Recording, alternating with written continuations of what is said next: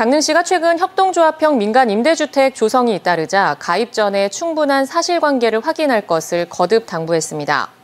강릉시는 최근 민간 임대주택 모집과 관련해 일부 단지가 대다수 자연 녹지 지역으로 토지 용도의 변경 없이 아파트 건립이 불가하다며 협동조합형 민간 임대주택 가입에 주의가 필요하다고 밝혔습니다. 또 일부 사업 주체가 현재 발기인 모집 단계지만 아직 강릉시의 협동조합 설립 신고 및 조합원 모집 신고를 하지 않았다고 덧붙였습니다.